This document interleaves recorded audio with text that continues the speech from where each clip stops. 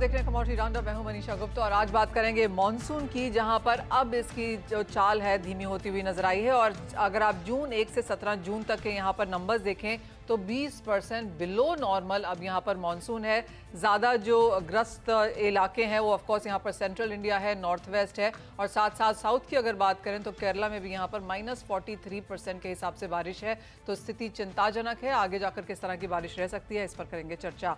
साथ ही बात करेंगे सोयाबीन की, क्योंकि मध्य प्रदेश की अगर बात की जाए तो कि सोयाबीन का हब माना जाता है, यहाँ पर बारिश 54 परसेंट बिलो नॉर्मल है।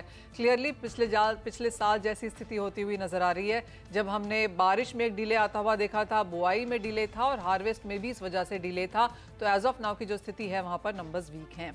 साथ ही बात करेंगे कच्चे तेल की, जहाँ पर कल करीबन दो परसेंट की तेज़ी के साथ साथ छह हफ़्ते के हाईज पर अब कच्चे तेल में कारोबार होता हुआ नज़र आया है। 80 के ऊपर डब्ल्यू में और 84 के ऊपर यहाँ पर ब्रेंट में कारोबार है। इन सब पर बात करने के लिए हमारे साथ हैं स्काईमेट के vice president meteorology and climate change Mahesh Palawat SOPA के executive director mister D N Pathak और ब्रेक के बाद हम बात करेंगे मोतीलाल ओसवाल के किशोर नारने से। लेकिन हम आपको ये भी बता दें कि माना यह जा रहा है कि दालों का उत्पादन बढ़ाने के लिए सरकार उड़द और तुअर दाल की एमएसपी करीबन 10 परसेंट तक बढ़ा सकती है। सूत्रों के मुताबिक सरकार सोयाबीन और सनफ्लावर ऑयल की एमएसपी में पाँच से सात परसेंट का इजाफा कर सकती है। कैबिनेट एक हफ़्ते में इसे मंजूरी दे सकती है, ऐसा हमारे जानकारों से सुनने को मिला है। एक डिटेल खबर ले लेते हैं। मेरे साथ मेरे सहयोगी असीम मनचंदा है। असीम, नमस्कार। क्लियरली इवन बिफोर नई सरकार ने यहाँ का गठन हुआ, बाज़ार एमएसपी का इंतज़ार तो कर ही रहा था। बारिशें आ चुकी हैं। एमएसपी के जो सी के आंकड़े हैं, वो रिकमेंडेशंस भी हमने आते हुए देखे हैं। अब आप यहाँ पर क्या सुन रहे हैं? देखिए मनीषा, अगर मैं इस पिछले साल की बात करूँ तो दालों का उत्पादन हमें काफ़ी कम देखने को मिला, जिसकी वजह से दालों का जो दाम है, वो बाज़ार में काफ़ी बढ़ गए। कई राज्यों में अगर मैं बात करूँ तो तूर दाल दो सौ प्रति किलो से ऊपर मिल रही है, उड़द दाल के दाम एक सौ प्रति किलो पहुँच गए हैं, और और हमको जो ज़्यादातर हमको इम्पोर्ट के ऊपर निर्भर होना पड़ा। तो सरकार ये चाहती है कि हम इसके ऊपर, दालों के ऊपर ज़्यादा फोकस करें। तो इस बार हमको दालों की कीमतों में भारी बढ़ोतरी एमएसपी में भारी बढ़ोतरी होने देखने को मिल सकती है। जो हमें सूत्र बता रहे हैं कि कल शाम को कैबिनेट की बैठक होने वाली है। इस बैठक में इसको मंजूरी दी जा सकती है। तो एक बड़ा बूस्ट दालों के प्रोडक्शन को यहाँ हमें देखने को मिल सकता है, जहाँ पे तूर और उड़द के एमएसपी 10 परसेंट तक बढ़ सकते हैं। इस बार हमारा जो इम्पोर्ट था, वो भी एडिबल ऑयल्स का, वो भी काफ़ी बढ़ गया था। पिछले साल के मुकाबले तीस से चालीस परसेंट तक हमको बढ़ोतरी देखने को मिली। तो सरकार वहाँ पर भी एक बड़ा फोकस करेगी। सोयाबीन ग्राउंडनट और के दामों के अंदर हमको यहाँ पर पाँच से सात परसेंट की बढ़ोतरी देखने को मिल सकती है। तीसरी बात करूँ, पैडी की तो पैडी की हमने इस बार काफ़ी ज़्यादा प्रोक्योरमेंट ऑलरेडी कर लिया है। तो पैडी के दामों में हमें इतनी ज़्यादा बढ़ोतरी देखने को ना मिले। वहाँ पर एक मार्जिनल बढ़ोतरी चार से पाँच की हमको देखने को मिल सकती है। ऑलरेडी वैसे भी बता दूँ कि जून के पहले हफ़्ते के अंदर एमएसपी अनाउंस हो जाता था, लेकिन इस बार थोड़ी सी देरी से चल रहा। खासतौर पर इस बार चुनाव काफ़ी देरी से हुआ, उसकी वजह से सरकार का गठन काफ़ी देरी से हुआ। तो जो हमें सूत्र बता रहे हैं कि कल देर को, देर शाम को होने वाली कैबिनेट की बैठक में नए एमएसपी को हरी झंडी मिल सकती है। ऑल राइट तो ऑफकोर्स बाज़ार की नज़र इस पर होगी। बहुत शुक्रिया असीम साथ जुड़ने के लिए और उस खबर के लिए। तो कल कैबिनेट की मीटिंग रह सकती है और पहला एजेंडा यहाँ पर एमएसपी का आने वाला है। जैसे असीम हमें बता रहे थे कि यूजली एमएसपी हम फ़र्स्ट वीक ऑफ़ जून में आता हुआ देखते हैं क्योंकि बारिशें तब तक शुरू हो जाती हैं, लेकिन इस बार ये ऑलमोस्ट तीसरे हफ़्ते में यहाँ पर पहुँचता हुआ। मिस्टर पाठक, बहुत शुक्रिया साथ जुड़ने के लिए। आपसे ही पहले आना चाहेंगे और एमएसपी पर जानना चाहेंगे। पाँच से सात परसेंट और सन की एमएसपी बताई जा रही है। कैसे देखते हैं आप इस तरह के इजाफे को? सन तो अपने आप बहुत कम पैदा होता है। उसके एमएसपी बढ़ाने घटाने से कोई ज़्यादा फ़र्क पड़ नहीं रहा है। सन पे कोई बहुत सारा काम भी नहीं हो रहा है कहीं पे कि उसकी उपज बढ़ाई जाए। सोयाबीन में ज़रूर, ये क्या इंडिकेटिव है? सरकार तो खरीदी करती नहीं है। और इस साल को अगर छोड़ दें तो सोयाबीन के भाव हमेशा एमएसपी से काफ़ी ऊपर रहते हैं। अगर दस परसेंट बढ़ेगी तो पाँच हज़ार इक्यावन सौ करीब हो जाएगी। किसान को डेफिनेटली थोड़ा सा प्रोत्साहन मिलेगा। लेकिन किसान को प्रोत्साहन शायद ड्यूटी बढ़ाने से थोड़ा ज़्यादा मिलेगा। क्योंकि सोयाबीन के भाव थोड़ा ऊपर ले जाने की ज़रूरत है क्योंकि पिछले कई महीने से एमएसपी के आसपास या उससे नीचे चल रहे हैं। तो बढ़ेगी एमएसपी तो ठीक है, अगर सरकार थोड़ी खरीदी भी करे या कोई प्राइस डिफरेंस रिम्बर्समेंट सिस्टम लेके आए भावांतर तो थोड़ा ज़्यादा फ़ायदा किसान को होगा इंडस्ट्री को भी। देखते हैं अभी what decision the government takes जी हाँ। कल के कैबिनेट का इंतज़ार यहाँ पर रहेगा, किस तरह का एमएसपी यहाँ पर निकल के आता है और जैसे आपने कहा कि सरकारी खरीद बहुत ज़्यादा नहीं होती है इंडिकेटिव प्राइस है, लेकिन उसके बावजूद भी एक सेंटिमेंट इम्पैक्ट हम यहाँ पर ज़रूर पड़ता हुआ देखते हैं। लेकिन बात अब मौसम की भी कर लेते हैं और हमारे साथ महेश पलावट जी हैं। महेश जी, कोई बहुत अच्छी खबर नहीं है यहाँ पर। बीस बिलो नॉर्मल कई इलाकों में अभी भी हीट वेव और ऑलमोस्ट जून का एंड होने के करीब है। कैसी देखते हैं आप ये स्थिति और क्या अब यहाँ पर कुछ चिंता बनती हुई देखेंगे? देखिए, मनीषा, ये आपने सही कहा कि अभी चिंता वाली बात है, अच्छी खबर नहीं है, लेकिन अच्छी खबर अब ये है कि अब मानसून आगे बढ़ना शुरू कर देगा। अभी तक स्टॉल हो रखा था और ये सिक्किम से आगे नहीं बढ़ रहा था 31 मई को पहुँचा था और आज 18 जून हो गई, यानी कि 19 दिन से वहीं का वहीं है। और आपने देखा होगा कि जो साउथ गुजरात के आगे भी मानसून नहीं बढ़ा है और जो रेन डेफिशिट है वो लगातार एक हफ़्ते से बढ़ता जा रहा है। नौ परसेंट से बीस बाईस परसेंट तक आ गया है। तो अब क्या होगा कि जो ईस्टर्न आर्म है मानसून की, वो धीरे धीरे आगे बढ़ना शुरू करेगी और 19 या कल से और परसों से ही, यानी उन्नीस बीस तारीख से बिहार, झारखंड, पश्चिम बंगाल उड़ीसा और जो छत्तीसगढ़ के कुछ इलाके हैं, यहाँ पर बारिश शुरू हो जाएगी। मध्य प्रदेश में भी आज और कल अच्छी बारिश दिखाई दे रही है और फिर ये जो आम है धीरे धीरे आगे बढ़ेगी और ऐसा लग रहा है कि 27 या 28 तारीख तक जो मानसून है, वो दिल्ली तक भी पहुँच सकता है। और जो साउथ में है या यानी वेस्ट कोस्ट पे वहाँ पर भी अब बारिश बढ़ने वाली है। दो दिनों के बाद जो महाराष्ट्र का कोस्ट है कर्नाटक केरला का कोस्ट है यहाँ पर भी बारिश बढ़ेगी और साउथ पेनिसुला में भी मानसून रिवाइव करने वाला है। और सबसे अच्छी बात है कि गुजरात में जो हल्की फुल्की बारिश हो रही है वो शुरू हो जाएगी और बढ़ेगी। और जो एमपी के साथ मध्य प्रदेश के साथ साथ जो ईस्टर्न पार्ट्स ऑफ़ राजस्थान है वहाँ पर भी अगले आ, मतलब तेईस या चौबीस तारीख से अच्छी बारिश शुरू हो जाएगी। यानी कि कुछ दिनों का और इंतज़ार है और मानसून अब रिवाइवल मोड पर आ गया है। जी। महेश जी, आप जिस तरह का डेफिसिट फ़िलहाल हम यहाँ पर जून में क्रिएट कर चुके हैं, आप वो संभालता हुआ देखते हैं? और जिस तरह से अब लानीना की बातचीत की जा रही है, काफ़ी सारे वर्ल्ड मेट्रोलॉजी डिपार्टमेंट्स अब कह रहे हैं कि 60 60 से 70 परसेंट चांसेस हैं लानीना के जुलाई ऑनवर्ड्स उसका कितना फ़ायदा इंडिया को मिल सकता है? देखिए, उसका पूरा फ़ायदा मिलने की संभावना दिखाई दे रही है और एक रेयर कॉम्बिनेशन है कि पॉजिटिव आयोडी और लानीना जब बन जाते हैं तो मानसून काफ़ी ज़्यादा अच्छा होने की उम्मीद हो जाती है। जून का महीना जो है, वो थोड़ा सा डेफिसिट में खत्म हो सकता है रिकवरी पूरी नहीं कर पाएगा क्योंकि ऑलरेडी डेफिसिट काफ़ी ज़्यादा है। नॉर्थ वेस्ट इंडिया में कोई प्री मानसून एक्टिविटी नहीं हुई सेंट्रल इंडिया भी ड्राई है और ईस्ट नॉर्थ ईस्ट इंडिया में जो इनिशियल सर्च था, उसके बाद वो रुक गया। तो रिकवरी तो होगी, लेकिन पूरी रिकवरी जून के महीने में नहीं कर पाएगा। और अब न्यूट्रल कंडीशन आ रही है और जैसे जैसे हम जुलाई में आगे बढ़ेंगे तो सेकंड हाफ़ ऑफ़ जुलाई में लानीना डेवलप होना शुरू हो जाएगा। तो हम कह सकते हैं कि सेकंड हाफ़ जो जुलाई का है, वो अच्छा रहने वाला है और इससे पहले ऐसा नहीं है कि सूखे जैसे हालात रहेंगे धीरे धीरे बारिश तो सभी जगह पर हो जाएगी। जैसे ही मानसून पहुंचेगा मतलब कि मंथ के एंड तक ज़्यादातर भारत को कवर कर जाएगा, केवल पश्चिमी राजस्थान, पश्चिमी जो कच्छ का इलाका है, गुजरात का, वो रह जाएगा और हो सकता है कि पश्चिमी हरियाणा और पश्चिमी राजस्थान को ये पश्चिमी पंजाब को थोड़ा सा और वेट करना पड़े। लेकिन जो रिकवरी है, वो जुलाई में लग रहा है कि पूरी तरह से हो जाएगी और हो सकता है कि जुलाई एट पार खत्म हो यानी जून और जुलाई का जो एवरेज रेनफॉल है, वो जुलाई में पूरा हो जाएगा और अगस्त और सितंबर काफ़ी अच्छा बारिश देखने को मिल सकती है। और हो सकता है कि मानसून अक्टूबर के मतलब मानसून तो वैसे तीस सितंबर खत्म हो जाता है, लेकिन मानसून जैसी बारिश जो है, वो अक्टूबर के फ़र्स्ट हाफ़ तक भी देखने को इस बार मिल जाए। Okay okay. uh, साथ ही महेश जी uh, जो कुछ अब एक एरियाज़ की यहाँ पर अगर बात की जाए तो महाराष्ट्र में छः percent above normal as of now दिखा रहा है। लेकिन uh, बाकी जो एरियाज़ हैं जैसे एमपी माइनस फिफ्टी परसेंट है Gujarat minus seventy one percent है ऑफकोर्स यहाँ ये इलाकों में मानसून प्रोग्रेस जैसे आपने कहा अब होता हुआ बेहतर यहाँ पर होता हुआ नज़र आएगा। क्या इन इलाकों में भी हम देखेंगे कि एक बेहतर मानसून की प्रोग्रेस आगे जाते हुए और कब से? और दूसरी बात जो केरला में माइनस फोर्टी जैसा दिखाता है उसकी भरपाई भी आप होता हुआ देखते हैं। देखिए केरल में तो लग नहीं रहा कि मानसून पूरी तरह रिकवर कर पाएगा क्योंकि okay. केरल का जो एवरेज रेनफॉल है वो बहुत ज़्यादा है। बारिश होती रहेगी अब पिकअप होगी बारिश लेकिन जो जमाजम बारिश होनी चाहिए जिससे कि वो एवरेज रेनफॉल को कवर कर पाए वो नहीं कर पाएगा। लेकिन ऐसा नहीं है कि सूखे जैसे हालात रहेंगे बारिश लगातार होती रहेगी लेकिन डेफिशिट बना रहेगा। उसी तरह से उत्तर पूर्वी भारत में भी मानसून की बारिश बहुत ज़्यादा होती है एवरेज रेनफॉल काफ़ी ज़्यादा है। और वो भी वो रिकवरी नहीं कर पाता है और पिछले कई सालों से हम देख रहे हैं तो वो थोड़ा सा डेफिसिट में ही रहता है। और अगर हम बात करें महाराष्ट्र के ज़्यादातर इलाकों की तो यहाँ पर जो सरप्लस तो दिखाई दे रहा है, लेकिन उसमें भी रीजन वाइज थोड़ा सा थोड़ा चिंता बनी हुई है कि मराठवाड़ा में अच्छी बारिश है, विदर्भ में थोड़ी कम है, मध्य महाराष्ट्र के उत्तरी इलाकों में भी बारिश अभी कम हुई है और उत्तरी कोकण गोवा में भी कम है। लेकिन अब ये जो है रेन डेफिसिट धीरे-धीरे पूरा हो जाएगा और मध्य प्रदेश में जो मानसून अभी नहीं पहुँचा है और जैसे ही मानसून पहुंचेगा तो यहाँ पर भी रिकवरी काफ़ी तेज़ी से होगी। राजस्थान के पूर्वी जिलों में काफ़ी अच्छी बारिश दिखाई दे रही है शुरुआती दौर में, अभी जो मतलब 24-25 तारीख से शुरू हो जाएगी और गुजरात के भी जो दक्षिणी और पूर्वी ज़िले हैं, जैसे कि सूरत, वलसाड, नवसारी, पंचमहाल, डांग और ये राजकोट से लेकर के अमरेली और आपका अ, सबरकांठा, मेहसाणा, पाटन और बड़ोदरा, अहमदाबाद, यहाँ तक बारिश अच्छी दिखाई दे रही है। तो कुल मिलाकर के जो किसानों के लिए चिंता का विषय नहीं होगा, जो अगले मतलब एक हफ़्ते का इंतज़ार है, उसके बाद कई इलाकों में जहाँ पर ज़रूरी है फ़सलों के लिए, वो बारिश होने शुरू हो जाएगी। जी।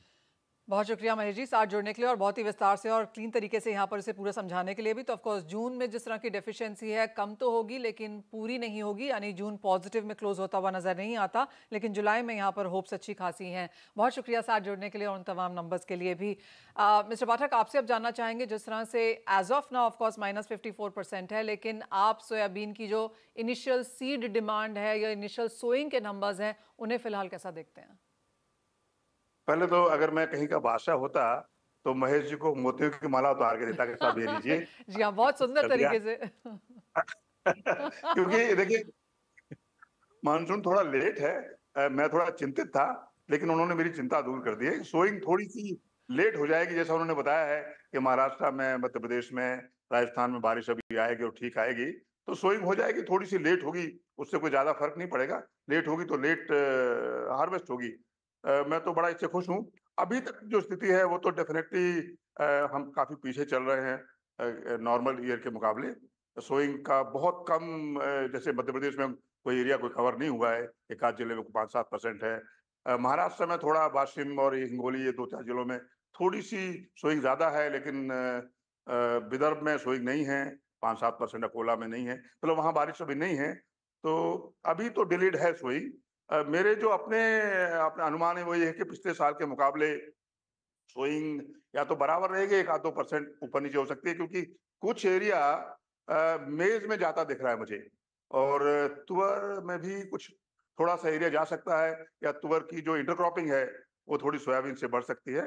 लेकिन ओवरऑल एरिया में मेरे को 120 लाख हेक्टेयर जो लास्ट ईयर था, उसमें कोई बहुत ज़्यादा कमी नहीं देख रहा हूँ मैं। और अगर लालिना जैसे साहब ने बताया अभी और आगे की बारिश टाइम पे आती रहती है और अच्छी मात्रा में तो मुझे लगता है उपज भी बहुत अच्छी रहेगी। ईल्ड तो हम डेफिनेटली पिछले साल के मुकाबले किसी कम नंबर पे नहीं रहेंगे।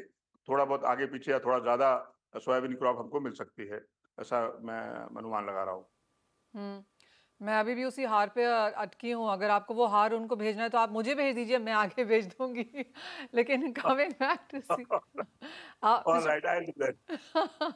mister Pathak अब अगर सीड अवेलेबिलिटी की बात करें क्योंकि हम काफ़ी जैसे head in that industry representative से बात कर रहे हैं। तो कॉटन में बीजों को लेकर शॉर्टेज है, बीड की, बीजों की जो क्वालिटी है वो भी बहुत बेहतर यहाँ पर नहीं है। जहाँ तक सोए की बात है, उस तरह की कोई चिंता आप यहाँ पर बीज के लिहाज से आता हुआ नहीं देखते?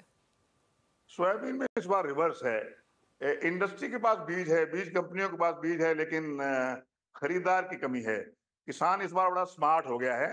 उन्होंने अपना बीज रखना शुरू कर दिया है और बहुत सारे बड़े बड़े किसान जो बीज कंपनियाँ बन के रह गए हैं मतलब वो अपना बीज रखते हैं, उसको साफ़ सफ़ाई करते हैं ग्रेडिंग करके जो है दूसरे किसान को बेच देते हैं कम पैसे में। तो बीज की कोई शॉर्टेज नहीं है, कहीं पे भी ना कोई समस्या क्वालिटी की है। अगर किसी को बीज चाहिए तो मैं यहाँ से अनाउंस कर रहा हूँ तो मुझसे कहे, मैं कल ही बीज भिजवा दूँगा। जहाँ कहीं भी हिंदुस्तान में बीज चाहिए। बीज की समस्या बिल्कुल नहीं है इस बार। All right right. एक फाइनल सवाल आपसे प्राइसेस पे और मुझे याद है मिस्टर पाठक आप प्राइसेस पे बहुत ज़्यादा नहीं बोलते हैं, लेकिन जिस तरह से चॉपिनेस जिस तरह की वॉलेटाइल मूव्स हमने यहाँ पर प्राइसेस में आते हुए देखे हैं, नई सरकार का गठन है, हम बहुत जल्दी बजट के ऊपर यहाँ पर काम होता हुआ भी देखेंगे ऑयल मिशन की बात यहाँ पर हमने पिछले दो बजट्स में लगातार आते हुए देखी हैं आपको लगता है खाने के तेल पर और जिस तरह से सेल्फ सफिशेंसी की बातें की जा रही हैं, कुछ यहाँ पर सुनने को मिल सकता है या कुछ रिफॉर्म्स ऑफकोर्स आपने यहाँ पर ड्यूटी की बात तो की ही है, जो आप इसके अलावा जो आपको लगता है कि इस सेक्टर में देखने की ज़रूरत है? मुझे लगता है कि टाइम आ गया है जब सरकार अपने पॉलिटिकल कंपल्सन को दूर करके शेड करके कुछ एक्शन तुरंत ले। हालाँकि अभी भी दो तीन विधानसभा चुनाव हैं, लेकिन मुझे लगता है कि अब सरकार को समझ में आ रहा है कि अगर ऑयल सीट पे और ऑयल पे अभी काम नहीं किया तो we will lose the bus और काफ़ी बड़ा नुकसान हो सकता है। जैसे तेल का इंपोर्ट इस बार इतना बढ़ गया है और आगे बढ़ता ही रहेगा तो ड्यूटी लगने की संभावना मुझे तो लगती है। वो कब होगी मुझे नहीं मालूम। लेकिन, जैसे अभी हमारे नए एग्रीकल्चर मिनिस्टर ने भी कहा कि हम तेल पे और ऑयल पे ध्यान देंगे तो ड्यूटी लगने की संभावना है। ड्यूटी लगेगी तो कोई बहुत ज़्यादा, ऐसा नहीं कि बहुत ज़्यादा प्राइस में फ़र्क पड़ेगा, क्योंकि प्राइस जो वो डिमांड सप्लाई का एक फैक्टर है। इस बार भी हम करीब 12-14 lakh ton soybean crop carry over में रखेंगे, करेंगे। इम्पोर्ट भी इस बार पाँच छः छः सात लाख टन हो गई, हो चुका है ऑलरेडी तो प्राइस में कोई बहुत ज़्यादा फ़र्क नहीं पड़ेगा, लेकिन ड्यूटी बढ़नी चाहिए और मैं बड़ा होपफुल हूँ कि ड्यूटी बढ़ेगी और भी बहुत सारी चीज़ें नेशनल मिशन जो पिछले पाँच साल से अनाउंस हो रहा है मैं सोचता हूँ कि शायद इस बार वो अनाउंस हो ही जाए फाइनली तो ऑयल सीड में प्रोडक्टिविटी बढ़ाने के जो और तरीके हैं और जिन पे काम होना चाहिए बड़ा इन्वेस्टमेंट होगा। तो ओवरऑल मैं थोड़ा सा सोचता हूँ कि इंडस्ट्री के लिए अच्छा रहेगा किसानों के लिए भी अच्छा रहेगा और सोयाबीन या बाकी जो ऑयल सीड क्रॉप्स हैं उन पे उन, उनको बढ़ावा दिया जाएगा। मिस्टर पाठक एज ऑलवेज बहुत शुक्रिया साथ जुड़ने के लिए और उन तमाम डिटेल्स पर बात भी करने के लिए। लेकिन इसी के साथ एक ब्रेक का समय है। जब लौटेंगे तो किशोर नारने होंगे हमारे साथ। नॉन एग्रो कमोडिटीज में जिस तरह की उठापटक है, उस पर उनसे लेंगे स्ट्रैटेजीज किशोर नारने हमारे साथ प्रोग्राम में जुड़ चुके हैं। किशोर, और सबसे पहले कच्चे तेल पे जानना चाहेंगे, क्योंकि काफ़ी कॉन्ट्रडिक्टिंग फंडामेंटल्स हैं यहाँ पर, लेकिन उसके बावजूद भी हमने देखा है कि 80-85 की रेंज अब यहाँ पर ब्रेंड के लिए बनती हुई नज़र आ रही है। कैसे देखते हैं आप करंट लेवल्स किन चीज़ों पे ध्यान रखना चाहिए और आने वाले महीने के लिए किस तरह की ट्रेडिंग स्ट्रैटेजी हो? Good morning Manisha I think आपने आई का ये both reports have been showing that incremental demand strengthen होगा स्पेशली सेकेंड हाफ़ में बेटर हो जाएगा। बट अभी भी इन्वेंट्री ओवरहैंग है। एंड जो प्रोबेबिलिटी दैट कि थोड़ा बहुत जो इसराइल और हमास के बीच में अगर कहीं ना कहीं बातचीत का जो सिलसिला चल रहा है, उससे थोड़ा बहुत जो रिस्क प्रीमियम है, वो रिस्क मार्केट से टेक ऑफ़ मतलब डिस्काउंट हो रहे हैं। So but at the same time ये पुल एंड पुश जारी रहेगा। मेरे हिसाब से I think demand story will play much larger role because specially हालाँकि लास्ट तीन चार महीने से हम we are worried about the demand side fundamentals rather than anything else so I think incremental demand second half के लिए positive रहेगा. सो so, फ़िलहाल के लिए आई थिंक जून वायदा बाई साइड पे बेटर लगता है हमको. आई थिंक दो सौ सिक्स थाउज़ेंड सिक्स एटी के आसपास जो बाइंग uh, कर सकते हैं सिक्स सेवन एट फाइव का टारगेट के लिए. बट अगेन अगर ऑप्शन करना है तो सिक्सटी सिक्सटी सिक्स हंड्रेड का जो कॉल uh, ऑप्शन है वो काफ़ी अच्छा लग रहा है। 202 के आसपास अवेलेबल है। 250 260 तक अपसाइड जा सकता है। 178 का स्टॉप लॉस मेंटेन कर सकते हैं। 6600 का कॉल ऑप्शन तो चाहे फ्यूचर्स है या ऑप्शंस है उन लिहाज से आपको खरीदारी की राय यहाँ पर कच्चे तेल में तो मोर सपोर्ट यहाँ पर आगे बनता हुआ। किशोर, साथ ही साथ गोल्ड एंड सिल्वर में जिस तरह की अब स्थिरता हमने यहाँ पर बनते हुए देखी है 2300 के नीचे भी गया, बहुत समय तक नहीं रुका। 2300 के आसपास जो एक स्ट्रॉन्ग बेस गोल्ड यहाँ पर बना रहा है, इसे आप कैसे देखते हैं? क्योंकि मई में तो हमने चाइना सेंट्रल बैंक बाइंग भी नहीं आते हुए देखी, कुछ कंसर्न्स भी हैं मार्केट्स को रेट कट भी शायद एक ही होगा। अब यहाँ से आगे क्या देखना है और क्या स्ट्रैटेजी बनानी है? चाइनीज़ सेंट्रल बैंक एक फ्लोर बना के रखेगा। चाइनीज़ सेंट्रल बैंक का बाइंग इज़ टेम्पररी ऑफ़ मेरे हिसाब से उन लोगों का एक्यूमुलेशन स्ट्रेटेजी लॉन्ग टर्म है और कंटिन्यू रहेगा but I think they will look to encash any dips वहाँ पे बाइंग करने की कोशिश करेंगे। Anything close to twenty two hundred they will be active buyers in the market but I think inflation is much more bigger concern है as of now I think जो current situation है कि market uh, जो expect कर रहे हैं कि सितंबर में एक रेट uh, कट हो सकता है उसको लेकर थोड़ा पॉजिटिव सेंटिमेंट आया है. But I think short term में मेरे हिसाब से दोनों गोल्ड एंड सिल्वर में वीकनेस जारी रहना चाहिए. एब्सोल्यूट शॉर्ट टर्म में gold seventy one thousand one hundred seventy one thousand तक भी इसमें गिरावट देख सकते हैं. तो करंट लेवल्स पे या थोड़ा भी अगर उछाला मिलता है तो वहाँ पे बेच के चलना चाहिए. सेवेंटी वन थाउज़ेंड की आसपास का टारगेट्स के लिए। एंड सिल्वर में 89,000 के ऊपर जो भी लेवल से एक बार बेच के चलना चाहिए। 88,200 88,100 का डाउन साइड है। सो so, दोनों में शॉर्ट टर्म वीकनेस जारी रहेगा। अगर medium to long term investors है एनीथिंग क्लोज टू 67 68,000 गोल्ड में बहुत ही uh, अच्छा डिस्काउंट लेवल uh, हो सकता है जहाँ पे लॉन्ग टर्म इन्वेस्टर्स के लिए बाइंग का वैल्यू uh, बाइंग के लिए। एंड सिल्वर में कहीं ना कहीं आपको 80,000 82,000 जो लेवल्स है वो वैल्यू बाइंग का लेवल्स हो सकता है। किशोर साथ ही साथ जो मेटल्स की रैली है थोड़ी सी थकती हुई नज़र आ रही है बिकॉज़ मार्केट ने फॉरवर्ड डिमांड uh, को भी फैक्टर इन कर लिया है। माइंस के नंबर्स भी हम यहाँ पर बात कर चुके हैं। ऑलमोस्ट सारी चीज़ों की यहाँ पर कॉन्वर्सेशन हो चुकी है और चीन से ऑफकोर्स जो डेटा है वो अभी भी अनइवन है। इस सेक्टर को आप कैसे देखेंगे? आई थिंक इसमें जो ब्राइट स्पॉट है वो अभी भी कॉपर uh, है बट अगेन शॉर्ट टर्म में वहाँ पे कंसोलिडेशन देख रहा हूँ। दूसरा जो है आई थिंक जिंक एक बेहतर मेटल हो सकता है कि शॉर्ट टर्म में। टू फिफ्टी नाइन के आसपास में बाइंग का सलाह दे सकता हूँ।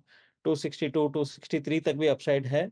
But I think nickel and aluminium यहाँ पे वीकेस्ट मेटल्स हो सकता है। एल्यूमिनियम में आई थिंक काफ़ी स्मेल्टिंग कैपेसिटी वापस आ गया तो there is a incremental production going on lead में बहुत सारे इन्वेंट्री uh, बढ़ेगा स्पेशली एल एम इन्वेंट्रीज बढ़ेगा। तो मेरे हिसाब से lead aluminium and nickel weaker metal से zinc and copper better on the on the buy side तो वो पाँचों मेटल्स को ऑफकोर्स सेग्रीगेट कर दिया गया है और कॉपर और जिंक पे आपको नज़र रखनी है, जहाँ पर खरीदारी के मौके अब भी ढूँढने को मिल सकते हैं। किशोर, बहुत शुक्रिया साथ जुड़ने के लिए। तमाम कमोडिटीज पर स्ट्रैटेजीज भी शेयर करने के लिए एक ब्रेक का समय है। जब लौटेंगे तो फोकस होगा इक्विटी मार्केट्स पर।